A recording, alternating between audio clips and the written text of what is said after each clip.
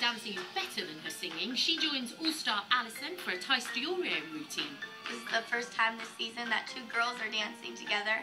Typically, people think that the girls would be dancing sexy, but this number is like us being strong women. This one's a number where it shows that we can dance just as well as any guy can. Dig down deep and say, here I am, I'm gonna dance next to Allison, and I'm gonna sell it just as good. Hmm. Do I think that Allison and I show the guys? Yeah? Stand back. I don't want anything. I don't know if you've seen these guns right here, but I am pretty strong. Hey guys, uh, watch out, cause Allison and I have got something you don't got girl power. oh my god, so cheesy.